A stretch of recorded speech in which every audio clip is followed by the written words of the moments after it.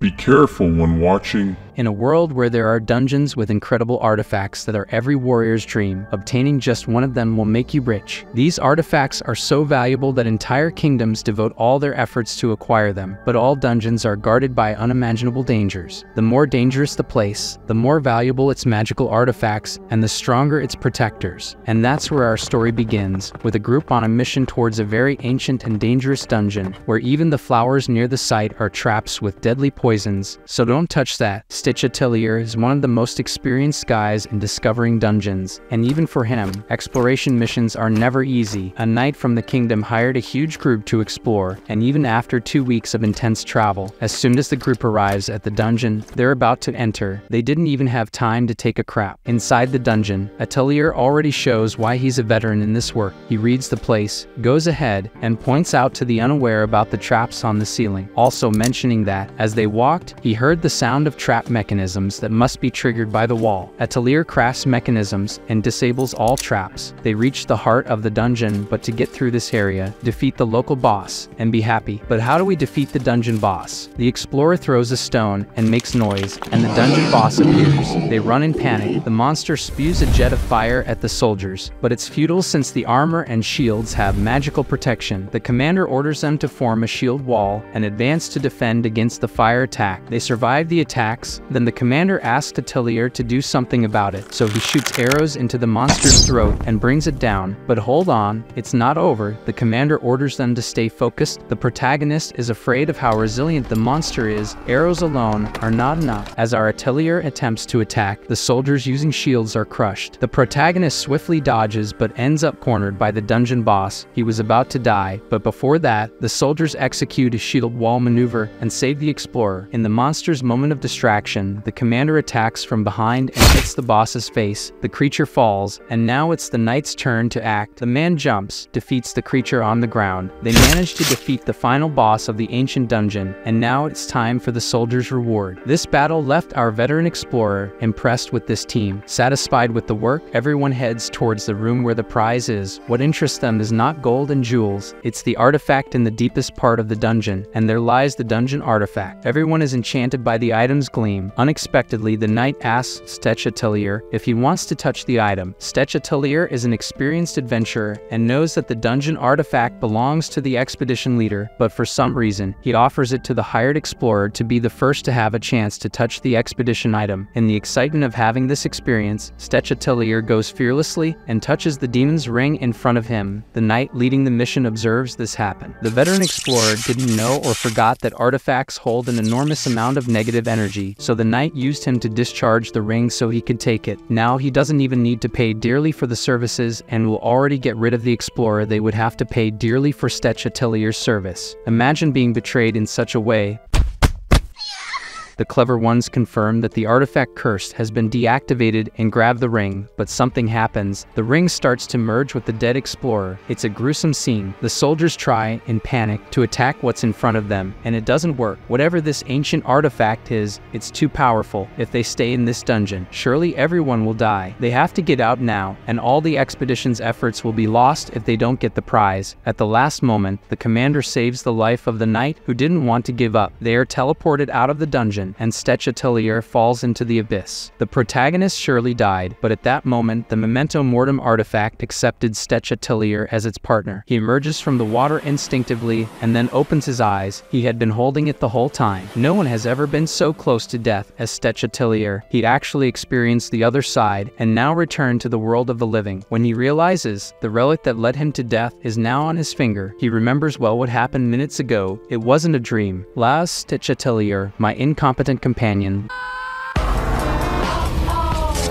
The knight and the commander who organized this exploration mission teleport out of the dungeon with a scroll. Unfortunately, they were the only ones to survive. All the other hired soldiers were buried in the collapsed dungeon. The worst part is that the honorable knight Gerald is the youngest prince of the kingdom, and he organized this expedition to obtain a legendary artifact in an attempt to improve his reputation in the realm. Soon the succession of the throne of the kingdom will take place, and he has just miserably failed. Because of this, his reputation will be damaged. Commander Balstock explains to Prince Gerald that that artifact was not common. People believe that there are two types of artifacts, the independent ones being the most common and the parasites. These merge with the owner of the relic and share its power. If the owner dies, the relic is destroyed along with them. However, there is a third type, the symbiotic artifact, which are artifacts capable of reviving their owner by their own will, and it would be entirely possible that Stetch is still alive, so Balstock should spread posters in the cities with a relatively low reward, since a high reward would attract too much attention. Meanwhile, Stetch Atelier wakes up after falling into the abyss. He tries to understand how he came back to life, and then the artifact electrocutes Stetch. He discovers that he is merged with a unique artifact. In addition to being brought back to life, the artifact is conscious and can converse with him. The demon's ring says its name is Memento Mortem. The ring says that Stetch Atelier is alive now thanks to its passive soul repair ability, which brought his soul back to life, but his body remains weak. Because of that brat, the great Memento Mortem is now without mana. Stetch Atelier tries to leave the cave and talks to his new partner. Stetch tells that relics usually have one ability, so what would Mementos be? Memento replies that if it were in its normal state, it would be capable of utilizing up to 40 abilities. Stetch Atelier is impressed, as the maximum number of abilities a human could utilize throughout their life is 10, so now he can have so many. Stetch asks which ability he can use now. Memento says none as it is without mana. For now, he will have to rely on his physical strength to escape this place. In addition, the relic tells him that he has another 12 hours of life until they both die if he doesn't recharge his mana. If Memento runs out of mana completely, the passive effect that keeps him alive will be deactivated. Stetch Atelier then questions that he wasn't really revived. Does that mean he is stuck with this artifact to stay alive? Several hours have passed since he was revived. The protagonist, motivated to stay alive, strives to the limit and finds the cave exit. Outside Memento says that before he was sleeping for centuries, even though he woke him up doesn't mean Stetch Atelier is his owner, he will only lend his powers for now. One of his abilities is to eat curses. With this he can absorb energy from other relics and mana from living creatures after defeating them. Stetch uses his instinct and notices footprints, and then the smell. It's a giant wolf, and it will be his mana source. The explorer is weak and weaponless to face the creature. Memento advises him to use one of his abilities, the air shot. With the remaining mana, he can use at least this ability without exhausting himself. His ring tells him to aim at the wolf,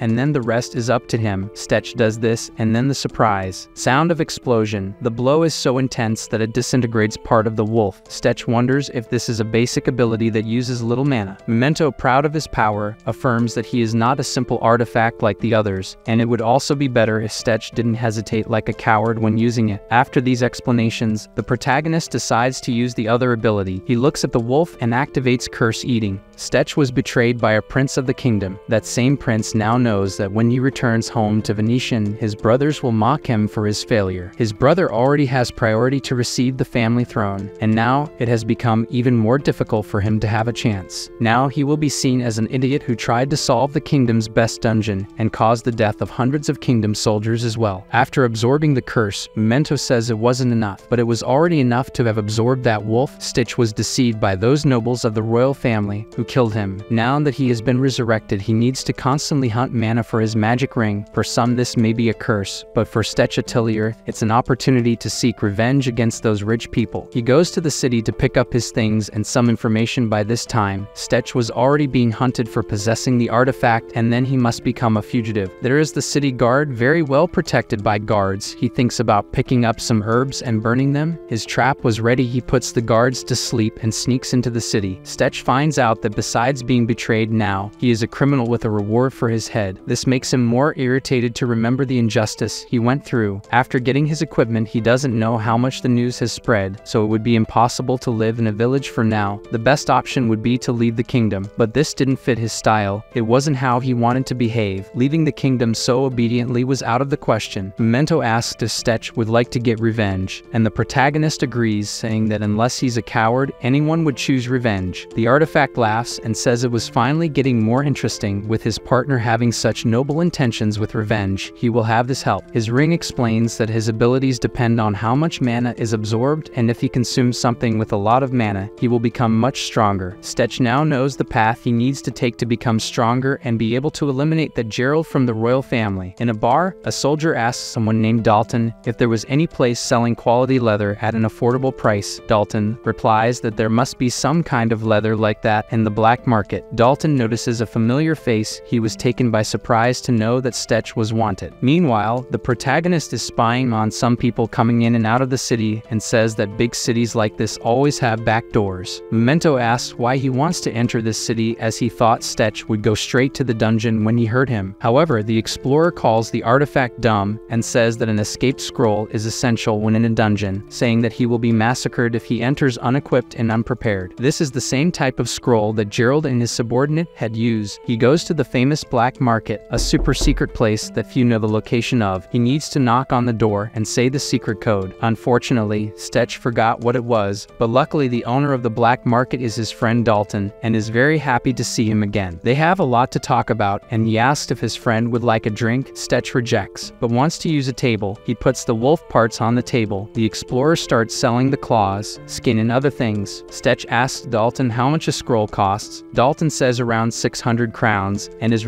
responded to by a request from Stetch. Wanting to borrow money, Dalton rejects the request, but that he doesn't buy a meal. Dalton asks what the hell he stole to be put on the wanted list. Stetch tells his tragic story in the kingdom's most dangerous dungeon and how the king's son betrayed him. Dalton explains that he doesn't have scrolls for that price, but knows a seller of stolen goods who could make a great price for a criminal. Just ask for Clyde and say that Dalton recommended him. Stetch approaches cautiously, and the old man is sleeping. He wakes him up very politely. The stench of this old man's breath can be felt from afar. His illegal products are on the table in front of him. Unfortunately for him, no one is buying anything. To the delight of the drunk dwarf, the explorer is going to buy one of his items. He needs a weapon that he can use in a cave dungeon. The old man shows a pistol, which is not suitable for use against many monsters. He sees other weapons, but none of them seem good. The vendor suggests a hammer, since he is in shape and has muscle. His choice is interrupted by Memento, who reminds the explorer that most dungeon passages are narrow, so such a big hammer is foolish. Startled, the protagonist tells Memento not to leave without his permission. Memento reveals that only Stetch is capable of seeing, hearing, and feeling its presence. With Memento's guidance, Stetch chooses a sword. In a dungeon, Stetch finds himself surrounded by various beasts, and he manages to knock out some without the help of the ring. But when he notices more presences, he points Memento to an entrance inhabited by monsters and launches an air bomb that devastates the monsters and then feeds on them with the Curse Eater. As he walks through the dungeon, he finds some rocks. With a pickaxe, Stetch begins to mine the azure stones and ends up encountering a trap. The boy said he could take advantage of valuable parts of it until he hears a scream in that direction. Pointing the ring to the location, Stetch tells Memento to illuminate, and then he is surprised by the sight, a giant mineral lizard. Which monster in dungeons is hostile, the creature shoots acid fire and hits his arm. Memento orders him to control himself and activates the recovery ability to regenerate his arm. Stetch knows the mineral lizards and explains that they use their acidic breath to eat minerals and strengthen their bodies using those minerals, so a normal attack would be ineffective. He prepares to launch an air bomb, but is prevented by Memento, who orders him not to shoot because he is in such a deep point of the dungeon that it could collapse with such magic. Now is the perfect chance for you to use that sword you bought. The explorer questions this decision, but is reprimanded again with his artifact saying that it would not be wise to hold on to it, and a medium-sized monster is the perfect guinea pig. Stetch draws the sword and advances toward the creature. He dodges an attack and moves above its head, where he thrusts his sword into its crystals. The artifact orders him to pull the trigger, and so it is done, killing the lizard. Using the Curse Eater, the creature's mana is devoured, and the boy laments about the sword's ammunition. Even though it was free, it seems like a big loss, as it is very rare, and there are only four left. Even though Clyde made them with higher durability, what would happen if they break? Interrupted by Memento, who says he feels something wrong, the boy focuses his attention on the artifact, which tells him to be careful and not to relax until another scream is heard, another mineral lizard. Stetch complains about not wanting to spend another cylinder while advancing towards the creature, which tries to scratch him. Just narrowly, the boy dodged, seeing an opening in the creature, which he tries to attack, but is defended by the lizard, showing more experience than its predecessor, especially with its tail hindering him. But Stetch remembers that compared to the Terrace, this monster is nothing. Advancing on him with the sword, he tries to cut him, but it is soon shown that this one was more resistant than the other, not being injured by the blow. The lizard punches Stetch, throwing him to the ground. Reprimanded again by Memento, who says something is wrong with this lizard, the boy tries to remain optimistic, saying that as long as the monster is a living being, it still has a weakness, but being interrupted by the creature, holding his head and hitting against the wall. The boy is reprimanded again by his artifact, this time for having been distracted in the middle of a battle, but it turns out that it was already part of the boy's plan to be hit. He puts explosive powder in his left hand and firefly energy in his right, thus creating a light grenade, hitting an opening to attack the animal's mouth. But before hitting it, a warning appears. The cell activity was irregular, with 95% of the body being affected, so Stetch explodes. After a few seconds, Memento begins to regenerate him and says how he had ordered him to wait and the lizard being magically modified, meaning that someone was in the dungeon and modified it but does not know how it was done. The boy asks the artifact if any fighting monster could explode, but his doubt is answered with uncertainty of a maybe and questioning if he was scared. The explorer says he is not and will move forward finding the way, then activating the ability to find the way, but he doesn't detect anything, not even using animal instinct, until he finds a skeleton. Stetch says that they do not react except if they approach them, but as it seemed to have been here for a while, it is completely petrified. Memento says that this skeleton will explode if touched, so it would be better to ignore it, but as he passes the skeleton, its body rises, and the artifact orders him to run, because everything in the way is exploded. Stetch falls into a crater and asks what he should do if they explode even without him touching them, and the ring tells him to shut up, until the explorer notices various minerals and his greed takes over because with this amount, he would have money for the rest of his life, but when he touches the minerals, sparks start to come out, and Memento discovers what was bothering him all along, a strange mana filling the dungeon which Stetch was not able to sense, and the concentration of this energy was getting stronger every time they advanced, and the more they advance, the more sensitive and explosive monsters they found. Stetch understands and asks if the bodies had become unstable because of the mana, which is confirmed by the artifact, but not only the monsters were affected, every object in this dungeon was being influenced by this mana and due to the high concentration of mana, also blocking the scroll, Stetch couldn't escape until defeating the thing emitting the mana to be able to flee. Walking for minutes, he finds the door of the dungeon guardian, where he deduces to be the one emitting the mana.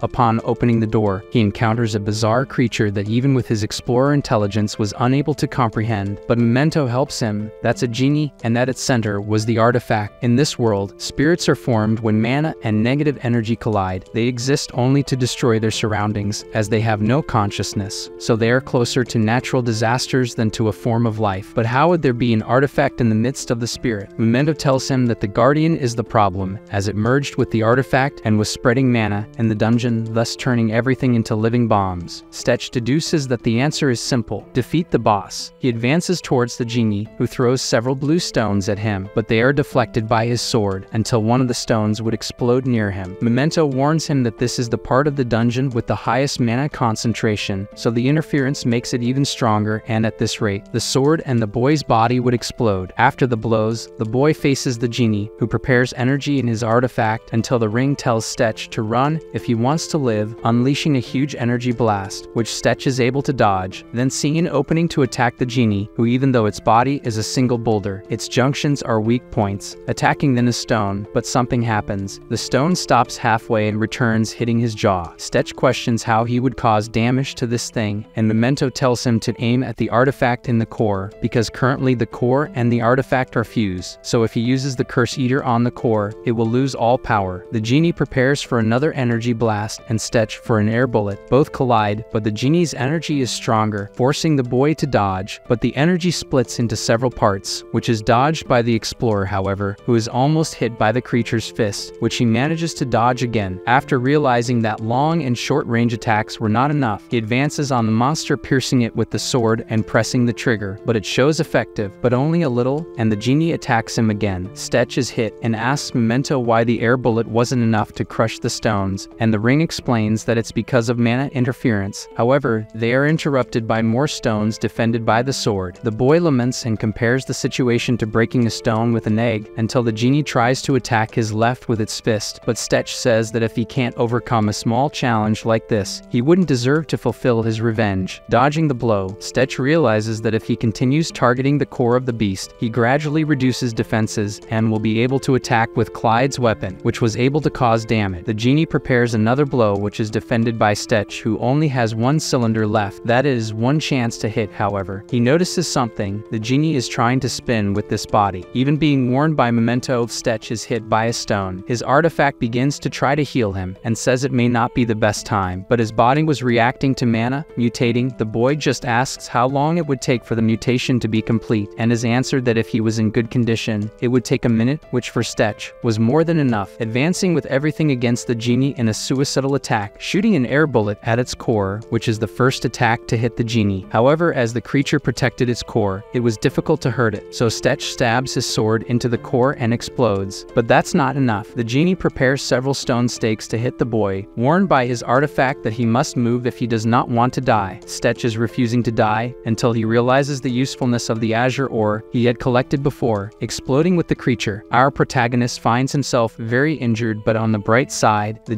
genie's core had been broken and he finally uses the curse eater on it and escapes the dungeon. After fleeing the dungeon, his body begins to recover with the mutation that was gone. Deciding to check his status, the boy notices that his animal instinct improved to level 7 and the curse eater to level 4. When he asks if Memento was awake, a pop-up appears, explaining that the artifact limit had increased from 100 to 150 and his air bullet ability had evolved into air explosion, as well as two new abilities added, including crosswind. Currently, the protagonist is in the process of unlocking Memento's hidden abilities, so the abilities will be unlocked after certain requirements are met. Opening a shop where he has 8,305 mana stored, and in this shop, Stetch was able to buy two abilities, the Curse Aura and the Curse Devourer. The boy wonders which one to choose, but upon making his choice, the ability was acquired. The next day, Stetch heads towards Clyde's house, where he hands him the sword and says he would like him to fix it, as the weapon had saved his life several times. Clyde thanks him and starts to cry, saying he will fix it and make it stronger and more resistant. As a thank you, the boy leaves his dungeon spoils and his deposit of 3,000 crowns, asking if he could take some extra cylinders. At Dalton's bar, the bartender says Stetch was late, but he is questioned by the boy if he wasn't annoyed by breaking his main dungeon and assumes that the mine he had counted on must have worked well. Dalton says that black market deals were overflowing and asks if the boy would be interested. What is rejected by the explorer, who says he will sleep for a while.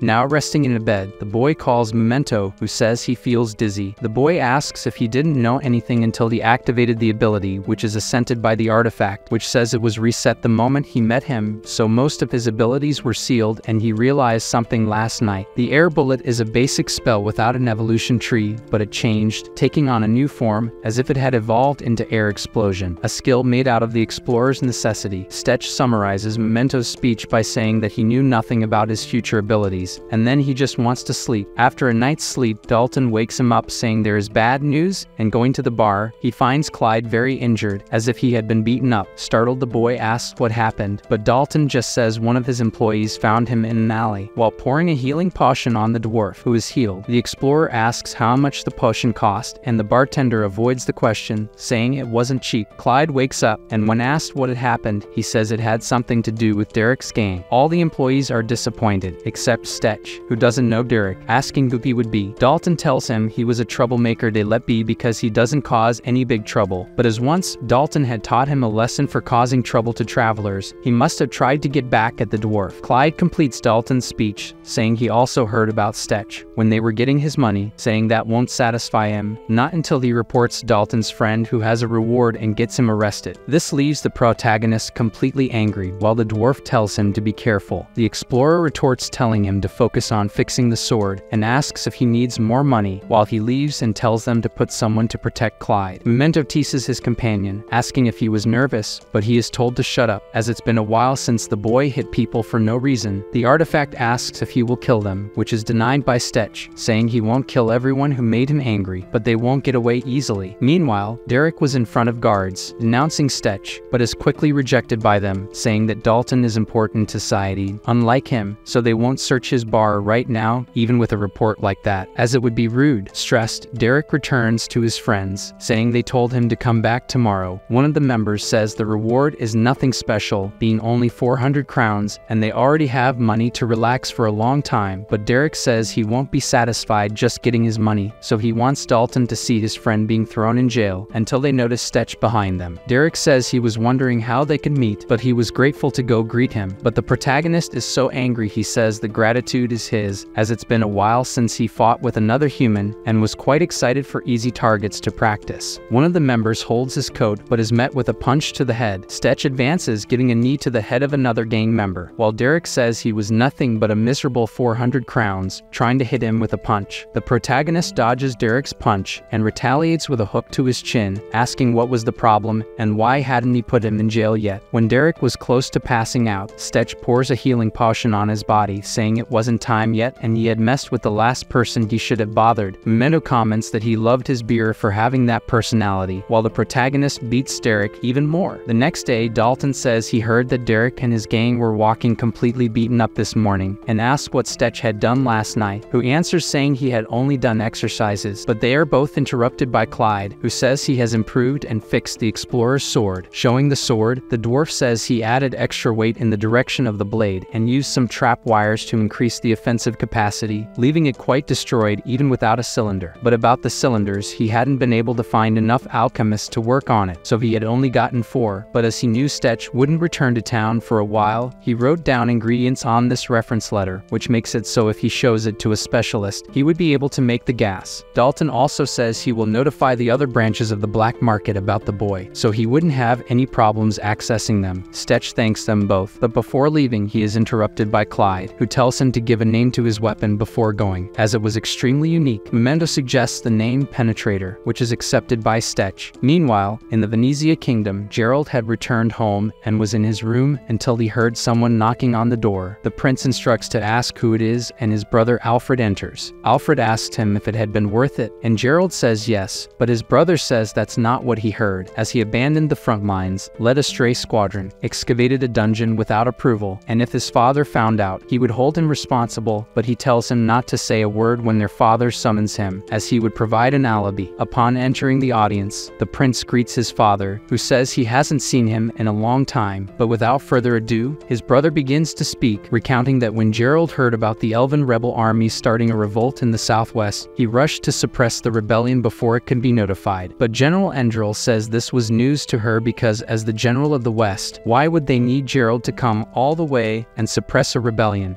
Alfred calls his servant Conrad and says his prediction artifact was able to see the situation, the terrain, and inform Gerald that at the moment of his return to the kingdom, furthermore, the rebels had leaked their plans to invade a class a dungeon and steal the artifact belonging, and if Gerald didn't act correctly, the situation wouldn't end well. The kingdom asks Gerald what happened, and Gerald says that except for Vice General Balstock, the lead squadron was lost, but he was able to destroy the artifact. The king asks why destroy it, but is answered by the explanation of it being a parasitic type, so it would be better to destroy it than to leave it in enemy hands. Alfred adds that Gerald brought the head of the enemy general, which is shown as the head of an elf. Then the king accepts the prince's alibi, saying he should go rest. Meanwhile, Memento says he's noticing fewer signs of civilization the further south they go, and Stetch says it's because of the elves, as the last elf village in the Great Forest to the south was warned of the approach of outsiders, as they hated humans. The artifact says this means using abilities without Stetch being noticed, so being the perfect place to farm some dungeons. But it's rejected by the explorer, saying there are many rumors about how dangerous the elven nation is. Stetch walks through a forest so dense that he can't see much ahead of him. In this place, even his tracking ability doesn't work properly. Maybe that's why it's called the Forest of Darkness. Apparently,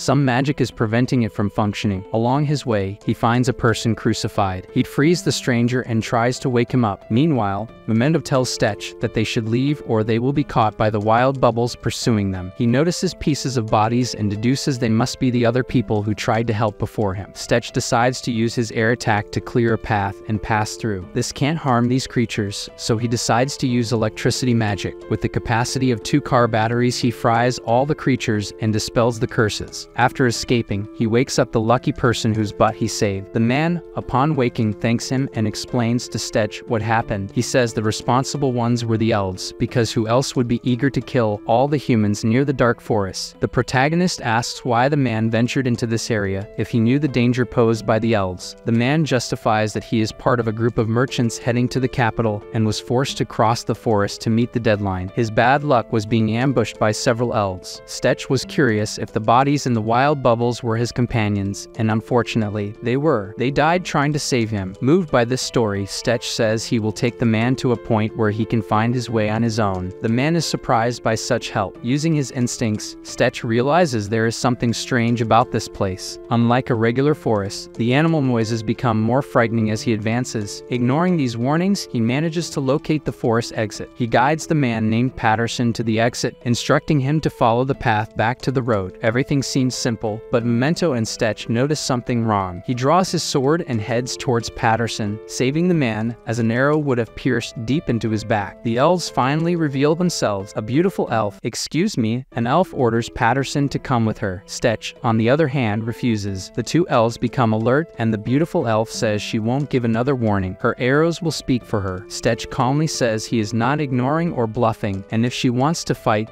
then just fight. The subordinates, with a look of hatred, ask if they can kill him. Contrary to expectations, the beautiful woman says they should talk first before doing anything reckless. This attitude surprises our Avenger. Even the elf servants didn't understand this action from their leader Elena. She orders them to listen. The woman asks if Stetch knows why she wants this human. The explorer doesn't know, but he's sure she'll explain. The conversation is peaceful, so Patterson says he shouldn't listen to the elves. Elena asks Stetch what the man told him. After hearing hearing it, the woman finds the story amusing and asks Stetch to follow her. Don't you think those curves are beautiful too? I am impressed. Stetch forces the man to follow as well. Upon arriving at a spot with an overturned cart, the direction was opposite to what the man had said before. Additionally, Elena goes to the river and retrieves the arm of one of Patterson's companions, who had a slaver's bracelet, indicating what the man intended to do in the Elves' territory. Hearing the facts, Stetch now understands everything. Anger is visible on his face. The man's lies were clear. Checking the man's arm, he finds the same hidden bracelet. Patterson screams that Stetch shouldn't side with the elves. He is also human and should understand that they are enemies. Despite seeking vengeance, our Avenger rewards the man with a punch in the mouth. Stetch orders him to shut up. Despite being so proud of being a slave trader, he hid it before. Our protagonist says that for him, there's no such thing as we are humans. Any despicable person of any race he will despise. Stetch asks Elena what they should do. She wants to hear his suggestion. The answer is visible in the human's fists. Stetch wants to make this person pay the ultimate price. Realizing it would be his end, Patterson risks everything, trying to escape. Within seconds, he receives an arrow in his arm. Elena then prepares and hits his leg to prevent further escape attempts. Stetch watches closely, noticing that the woman can hit a man fleeing at top speed effortlessly. After capturing their target, the man begs for mercy, promising never to sell slaves again. He even pleads for the explorer's help, but Stetch turns a deaf ear to his cries his final pleas for mercy are directed at the elf. Unfortunately for him, a few minutes later, Elena is washing her blood-stained arrow. While cleaning her arrow, Elena comments that she didn't expect Stetch not to save his fellow human. She thought he would protect his own species. He regrets to inform her, but he's not the type of person she thinks. If that's the case, the beautiful woman says he must understand that she cannot let any human who invades the elves' forest escape alive. When the girl fires an arrow, Stetch is confident, and the reason is that the arrow was deflected.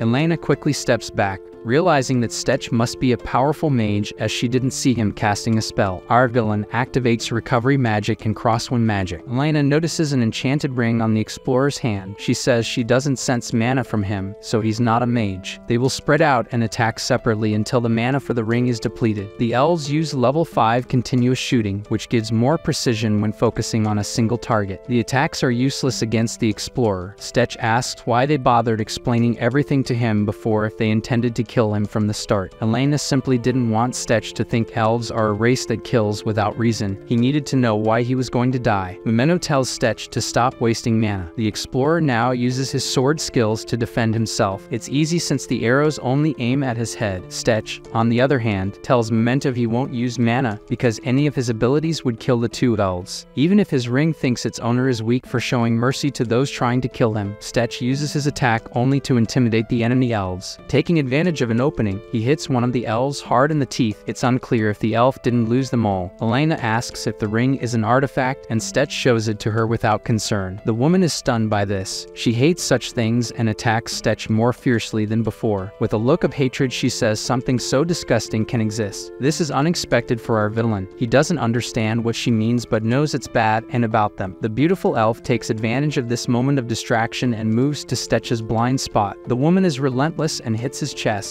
Now the scenario is two elves down and our villain with a chest wound. Despite the pain, he is able to control himself and uses his recovery abilities. Elena sees this and, even without knowing it's a spell, notices the wound closing. She then makes more holes in Stetch. He sacrifices his arm to defend himself, knowing that despite the pain, he can heal later. Stetch now decides to retaliate against the elf. However, Elena can predict his intention and shoots his ring to prevent the attack. He didn't imagine it was possible for someone to foresee his attack and stop it with a simple arrow. Memento explains that before attacking, a large amount of mana gathers in front of him. She can sense the mana and predict it will be a powerful attack. Practically, it works this way, but one needs superhuman reflexes for this, so it's unlikely that Elena is an ordinary elf. Stetch agrees and advances with his sword, forcing her to retreat, but without giving her time to react, he advances again. He is repelled by Elena's arrows. Activating Crosswind, he repels the projectiles. Her strategy was to explode his head from a blind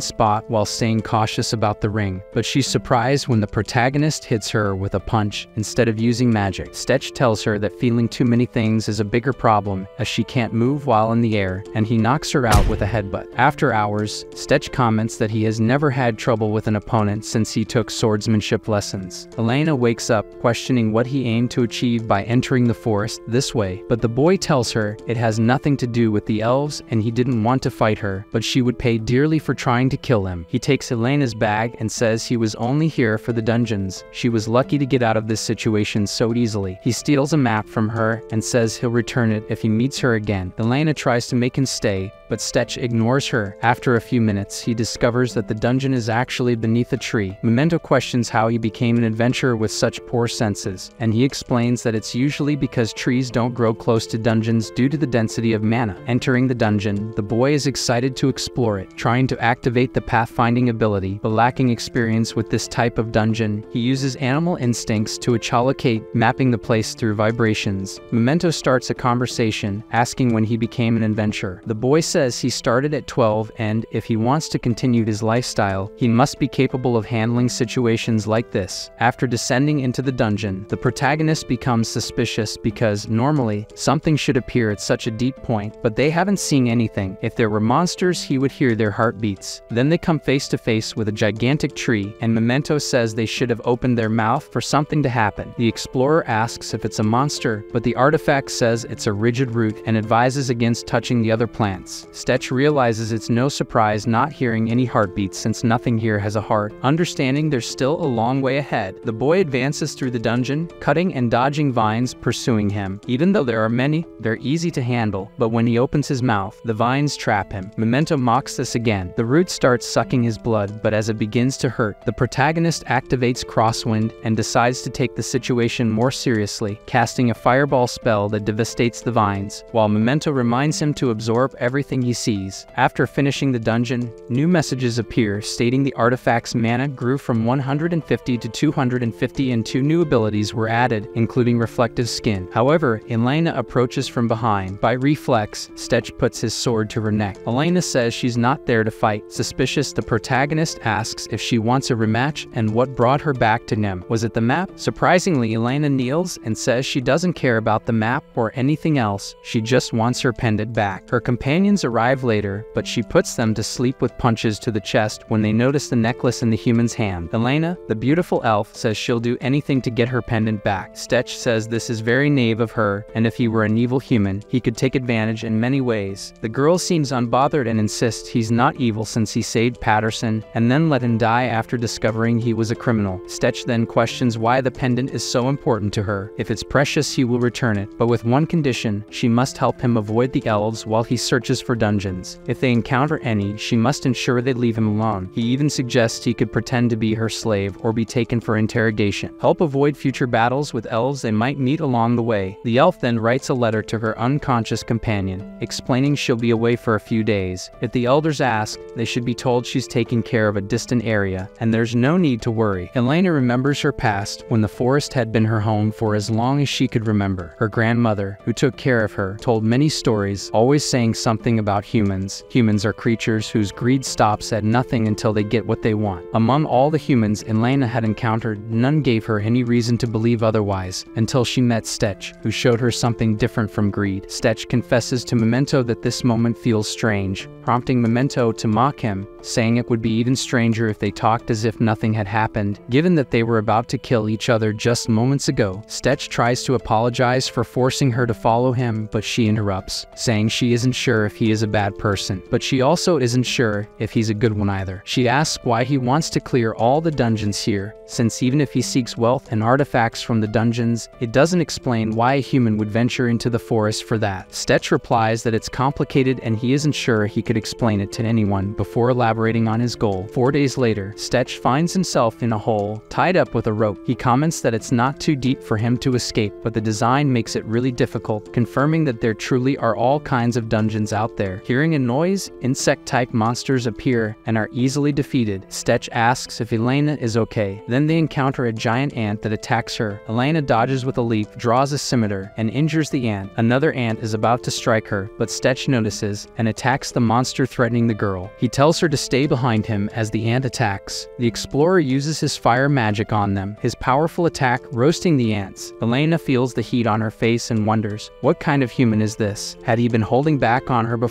He could have torched them all from the start. Moreover, how many spells can this guy use? This last question she asked out loud. Stetch responds that he's not sure, but it's definitely more than 10 spells. He says these ants are the first inhabitants of this type of dungeon. Their exterior is resistant to cuts, but not to being roasted. Elena notices that the explorer seems to absorb something from the defeated creatures and asks if all artifacts have this capability. Obviously not, but for him, it's not so unusual. Elena explains that absorbing mana is inherently different from using it. This artifact being able to do something like this means it can access something more primordial in living beings, something like the soul. Stetch says that this artifact can indeed absorb the mana of monsters, but only from the dead. For him, this isn't something that harms people, so it's not a bad thing. These words don't seem entirely true to the elf, who finally says they should continue their journey. Now our Avenger becomes suspicious of the girl's words. Could Memento have access to his soul? It doesn't matter much since he's dead anyway.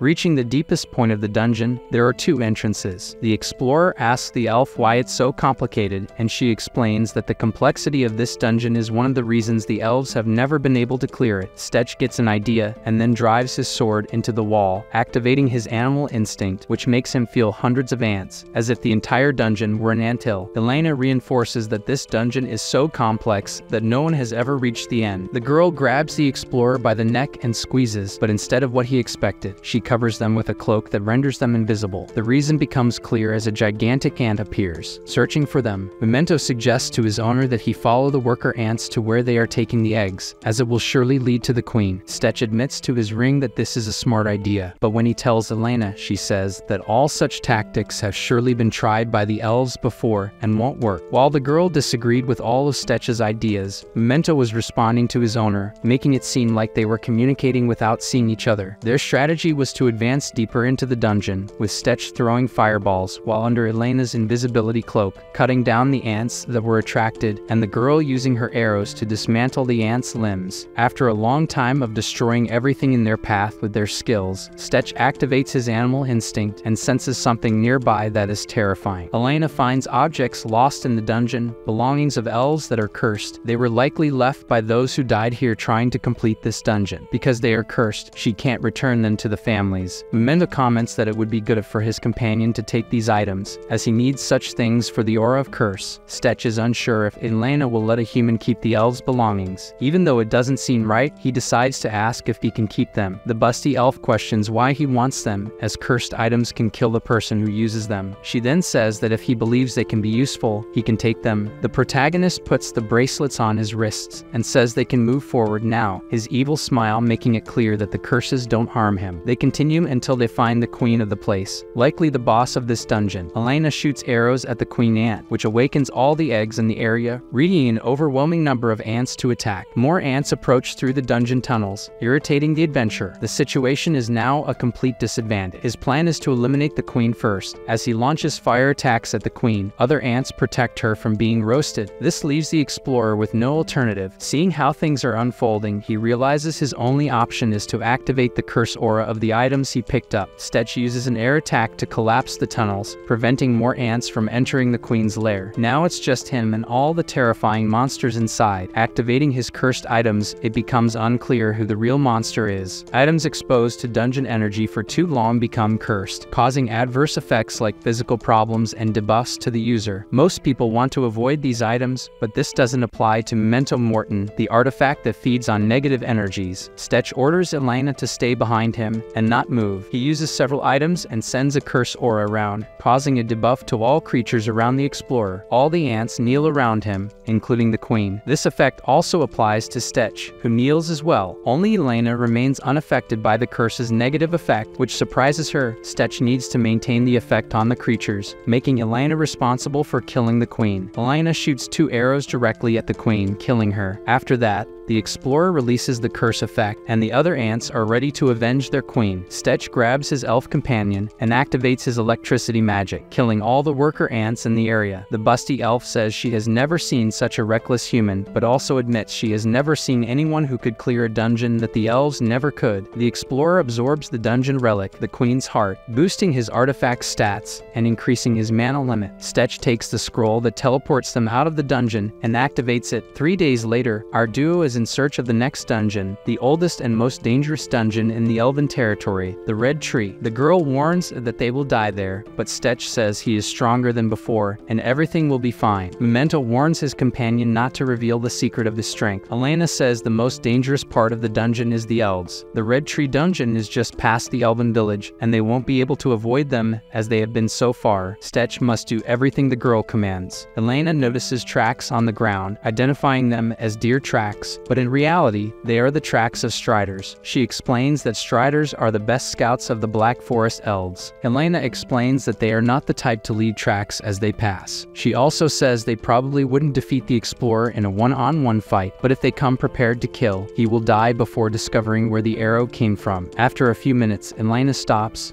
saying it's strange because she can't hear any animals. Stetch uses his instincts and confirms this. The forest is completely silent nearby. When he activates his hostility detection ability, Elena is terrified. What she detected wasn't just hostility, it was murderous intent. As she tries to alert her partner, it's already too late. His body is shattered, his consciousness lost in seconds, and he falls lifeless to the ground. Elena is horrified by her partner's condition. She spots some elves lurking nearby, certainly the Striders. Perhaps Stetch will be the first human to die twice in this lifetime. They emerge from the darkness and strike again with a warning arrow. When they reveal themselves, all I could think was, this girl is like a green-haired Hinata mixed with Kiba. I don't know, but our elf gets furious and protects her adventurer partner, questioning why they're attacking. The Striders return the question, why is Elena walking alongside a human? Their names are Jesper and Ida, and they both aim to eliminate every human who enters elf territory. Something they didn't expect was Elena opposing them and preventing them from ending the life of this man they just hit. The girl says they don't understand. This person is the only one who can defeat the red tree, so they have to go to that dungeon. They investigate the situation. Among the humans' belongings, they find Elena's possessions. Jesper says she was blackmailed by this human. Elena should just give up becoming a strider. Hinata says they won't listen to excuses, but they'll take her to a council meeting. The protagonist who entered the forest to defeat the three famous dungeons of the region was captured by the elf protectors of the region and taken to the capital city of the elves. Jesper tells the girl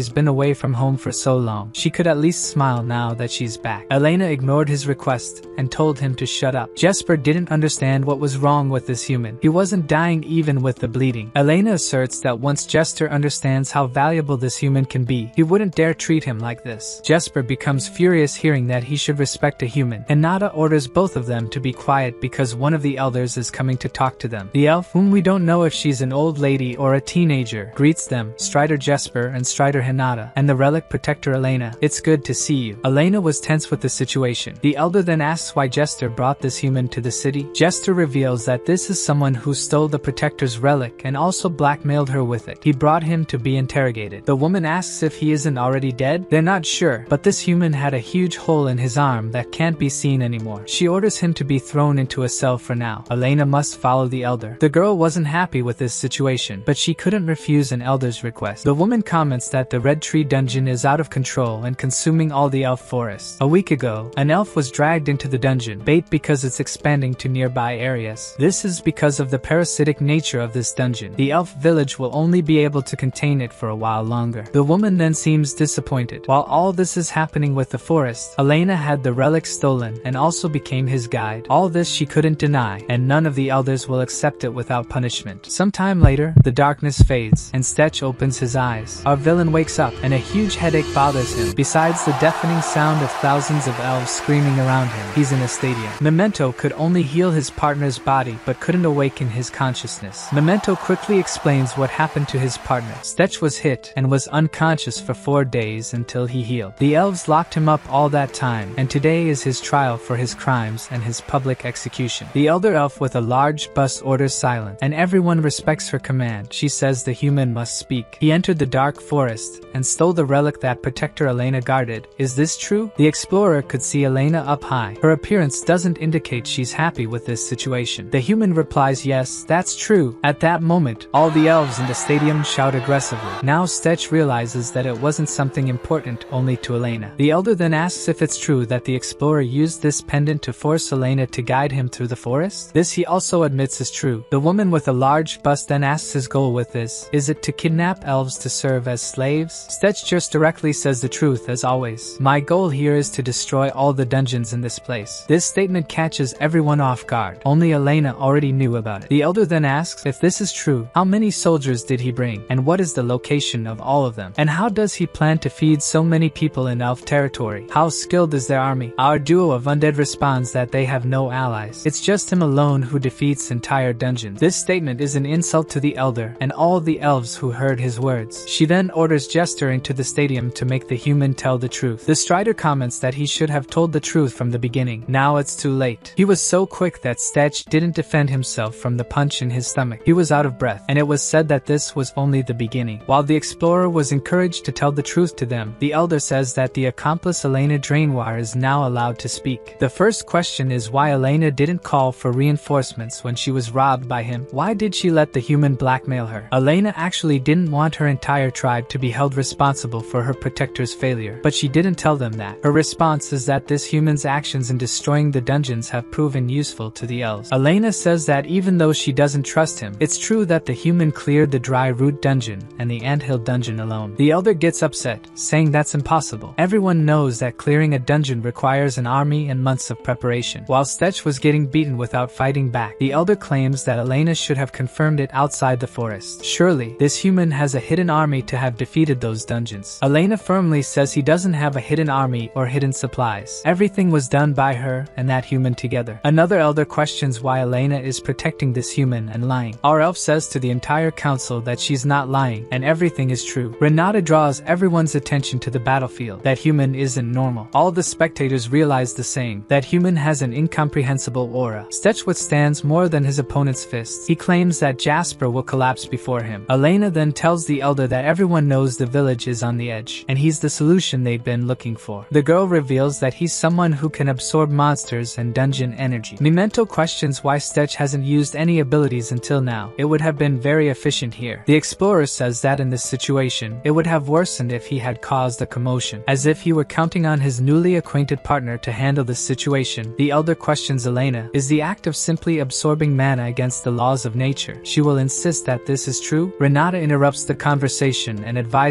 releasing the monster. If this is true, they will know. Mentioning the monster brings concern to the elders. Renata is respectful and asks if Elena agrees that the explorer proves his abilities against the most powerful creature they know. She says that's perfect. Jester, upon hearing his name, surrenders and asks the explorer to calm down. As a gesture of peace, he frees his arms. The creature's roar shakes the entire stadium and Stetch's ears. Do they want him to go deaf today? There stood an armored bear before him. Stetch had never seen reports or records of a armored bear, so how were they keeping it in a cage? The elder thought it was an exaggeration, but Renata disagreed. If what Elena said was true, then this might not be enough. The elder with the large bust ordered him to demonstrate his abilities, and he understood they wanted him to fight that monster, but he wondered if they wouldn't give him his weapon. The protagonist realized his ring could hide beneath his skin. Memento made it so as not to draw attention and be separated from its owner, thinking the elves might have taken it. Stetch decided to use fireballs to see how the bear would react. The bear defended against the fireball with a single blow of its hand. This Volibear is truly impressive, our villain said. Stetch decided to use the blast of air. This attack was powerful, and yet the bear resisted, enduring the pressure of the blast, which was unbearable for all the other elves sitting in the auditorium. Soon, the bear was unscathed, which shocked him because his attack didn't affect it. The bear roared and attacked him, but the protagonist dodged the attack and used his electricity ability, which left the bear feeling dizzy. Renata asked Jester if he had given any artifacts to this human before. He hadn't done that, and they had taken all his objects. Volibear smelled like barbecue, which surprised the elders because they didn't expect that. Elena, on the other hand, was excited. Volibear still ready to attack, and Memento reminded Stetch that he was running out of mana. He knew that, but he found out that his electric type attacks were effective against the bear. The armored bear attacked him, and he avoided the attack using a wind boost. He jumped to Volibear's head and shot a fireball directly at the bear's face. Its head burned, and it screamed in pain. Our Avenger grabbed its tongue, forcibly opened its mouth, and grinned wickedly. Could it be that inside this fake Volibear is even weaker against electricity? After a thundering smash, Volibear was being absorbed by the human. They called him a monster because it went against the laws of the universe. The elder with the large bust ordered everyone to be silent. They must respect him now. Besides, what choice do they have now? The elder who doubted Elena before apologized for it. Our favorite elf then asked what they planned to do now. What else could they do? They had no choice but to let him clear the dungeon because that dungeon was a threat to them too. For the first time, they asked the human's name, and he answered. The elder stated that, to fulfill their request, he risked his life to demonstrate his abilities. But first, she wanted to ask why he initially took Elena's artifact. He explained that he didn't know it was an artifact, and had no intention of taking it from her because he wanted to challenge the red tree. With a serious look, the elder said that if he wants it so much, they won't stop him. However, they won't support him with anything other than basic supplies. Stetch feels like this woman doesn't like him. Elena says she wanted to go with him, but the elder didn't allow allow it. She tried to persuade her because the Red Tree dungeon was on another level compared to the other dungeons, and no matter how strong he was, sending him alone was risky. However, the elder repeated her words. She still needed to take responsibility for losing the artifact. Memento says that basically, they don't want to send their precious elf to a dangerous dungeon. I think they're right. What about you guys? Elena really wanted to help but they didn't let her. Since she was so worried about him, Stetch asked if she had forgotten that his artifact got stronger every time he cleared a dungeon. He said he's not as weak as the elves think. He doesn't plan to die. The elf elder ordered to return his equipment and asked if he needed any supplies. Stetch replied that some potions would help. Meanwhile, Near the dungeon, the Striders tried to stop the Roots from crossing the border they had created. Their captain aimed at the Roots and commanded his colleagues to block them at all costs. Before he could avoid it, the Roots captured him, wrapping around his body like in those weird animes you might imagine. An explosion freed the captain, and they celebrated that help had arrived. To the surprise of the elves, it was a human who was there to help. The captain asked what happened. Why is there a human so deep in the dark forest? Renata warned not to dare touch that human. If anyone did, she would cut off off their peepee. The captain asked Jester why two striders were accompanying a human. Jester replied that he didn't know, but the elder's order said he was probably their last and only hope against that dungeon. The protagonist burned all the roots outside and waved to them saying he's going now, pointy ears. Meanwhile, in the elf village, Elena asked her grandmother why she stopped her. The old lady with a teenage face replied that she would never send her to the red tree. Elena's grandmother only had Elena after her Nora and her son died because of the red tree. Elena is her only granddaughter daughter and living family. But the girl was worried about her people dying, and if their frontline soldier lost, not only would all the elves be wiped out, but the entire forest would turn into a dungeon. Wouldn't it be better to support him as much as possible? Her grandmother didn't agree with her. Is Elena their best chance? Not for her grandmother. She already lost her son, and going to the red tree wouldn't improve anything, only increase the chances of losing her last family. Elena wanted to disagree once again, but her grandmother wouldn't allow it because this is not up for debate. No matter how strong that human is, if he dies, they won't have problems. What the elves need to do is come up with a plan B. The elder with a sad look said he can't be compared with Cain. At least this human can buy some more time for the elves. Meanwhile, in the Red Tree dungeon, elf skeletons were scattered everywhere. The atmosphere of the dungeon was quite intense from the start. The protagonist agreed, as he could almost smell the blood in the air, which was a bit worse than in the first dungeon. He examined the area and found dungeon plants, so he asked his artifact if it knew anything about these plants. Memento was surprised to see where the protagonist had reached, as his ability to find a way didn't work in the first dungeon. He drew his sword and attacked the roots with his sword. When he released the gas cylinder, it caused an explosion that broke the ground. He descended and replied that its effect was a sinkhole, as he found some underground plants. He recognized them as familiar and smelled an unbearable odor. He approached the flower and saw an elf inside it, completely dehydrated. Memento couldn't feel any life from that elf, considering the foul smell coming from the room. He assumed that everything in that place place was probably elves. Some roots attacked from behind, and he cut those roots with his sword. They didn't let him interrupt their meal, but he also didn't plan to let them eat peacefully. He removed all the living elves from those sacks and tried to wake one of them up. As he kept screaming, Stetch slapped him to calm down and be quiet. Here. Why you bully me? You fucking bitch, why you bully me? He shouldn't be afraid of those plants. He gave him an escape scroll and instructed him to use it to leave as soon as everyone woke up because he had to go now. The elf grabbed his shirt and asked him to wait because they had to save someone who was the only reason they were still alive. He didn't want to leave without that person, Cain Drainoir. And speaking of the devil, Cain regained consciousness and wondered if they still hadn't had enough. He's at his limit now. Someone destroyed the wall in front of him, a human carrying an elf boy. The elf was happy and confirmed that was Cain. Stetch was amazed to see those disgusting things. He ran to Cain and explained that it might hurt a bit, but he should bear with it. The other elf asked to be gentler with them, and in a few seconds, the elf boy was the one who should be gentle as he carried Cain out of the dungeon. After they got out, our Avenger asked if it was Drainoir. Is it really who he thinks? Memento says yes and is not sure about letting that weak elf take this important person. Stetch asserts that he can feel the owner of this dungeon behind that wall, and that he's eager to get his hands on Stetch. Cain is safe now. The protagonist did what he's used to doing to get into places and destroyed everything in front. In this place he found what he expected, a giant and terribly strange creature. He didn't know that disgusting plants like this could exist. The tree began to move its branches towards him when he asked if it had any information about the dungeon guardian. It was a subspecies of the world tree, probably of the same species as the tree growing over the dungeon. It was so imbued with mana that he couldn't even discern what it should have originally been, and now it was just an abomination. Stetch was impressed to see that the tree was coiling its vines to defend itself, showing to be semi-sentient. He attacked the tree with a fireball, but a wall of blood appeared to protect it. He was worried because that monster was very cunning, and none of his attacks were having any effect.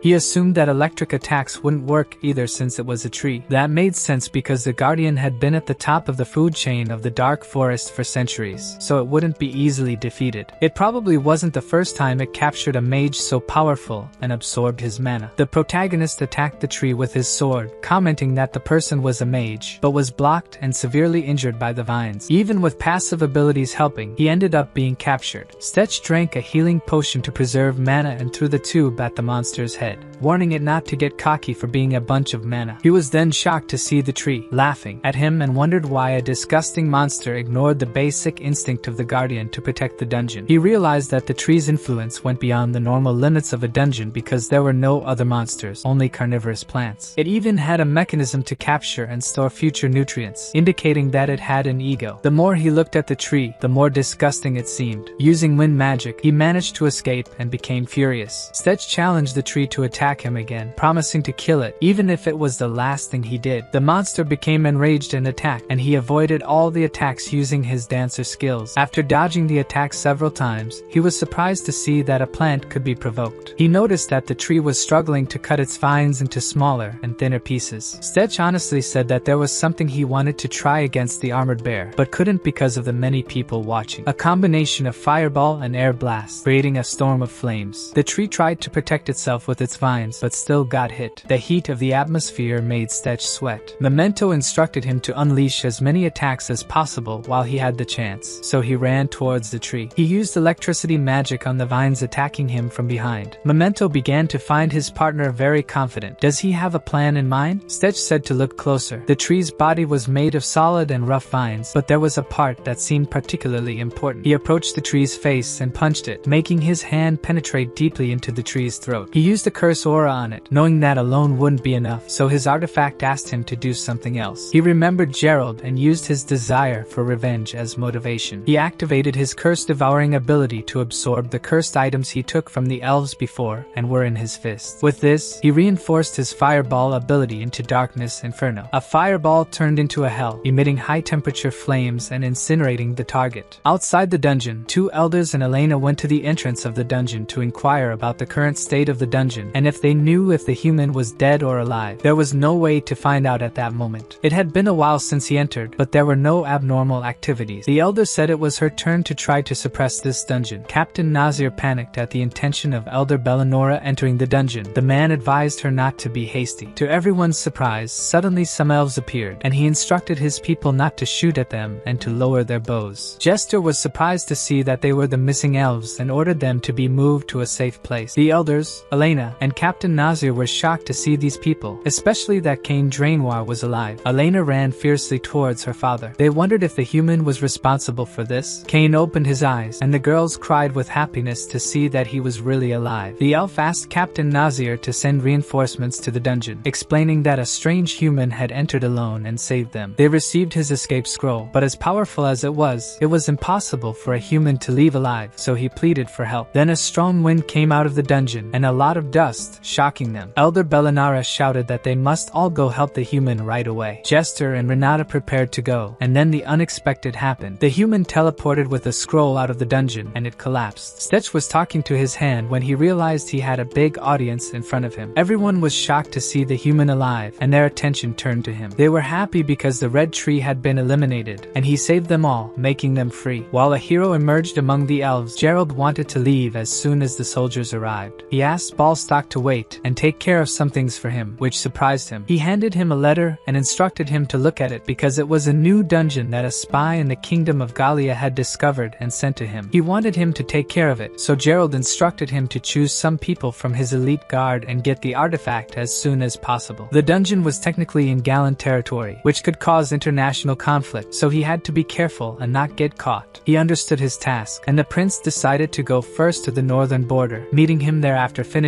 at the dungeon. Meanwhile, Stetch was leaving the forest with Elena. He told her that he wasn't racist, but wouldn't it be dangerous to go to a human village with those pointy ears or face painting? She asked him not to worry because as long as she had those marks, she would look like a regular human to others, although it was useless for those who already knew her identity. Stetch was surprised, wondering if it was some secret technique of the elves, but he wasn't so surprised since they could even detect dungeon formations. He remembered that Cain explained to him that certain mana-sensitive elves, like his family, could see the mana flow. Sometimes mana concentrates at a point so densely that they can't even look directly at it, and that's when a dungeon forms. The protagonist understood that he meant that a dungeon had just formed, and he confirmed it. Memento was happy because there would be no one to interfere, but that had been the situation for some time, so they needed to clear it before others found out. Elena was ready for them to leave, as she would go with him. He thought she was too old-fashioned, as no one else repays the village's debt. Memento thought she would be useful, as an elf's ability was really useful. The protagonist agreed, maybe because she used to be a strider, she's fantastic, as elven mobility is a powerful archer and even detects dungeons. Elena wanted to know why they were going in that direction. He explained that a small village was ahead of them. They would rest there before traveling for another week. After covering some distance, they spotted the town, and he instructed her to stay behind him all the time, even though she looked human. Memento questioned why the explorer was so confident. Doesn't he have a bounty on his head? Stetch believed that was nonsense.